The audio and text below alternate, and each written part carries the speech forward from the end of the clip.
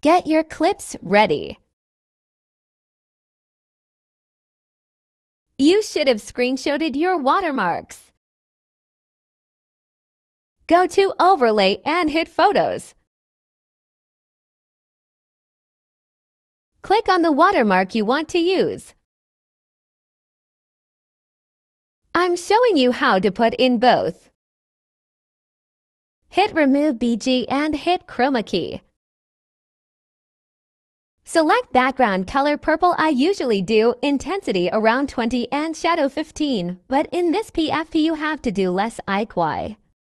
If you don't want that silly black line, go to mask this part is optional. Hit rectangle and make it the size of the words. Then go to splice and hit overlay. Make it how small or big you want it and place wherever. There's option 1.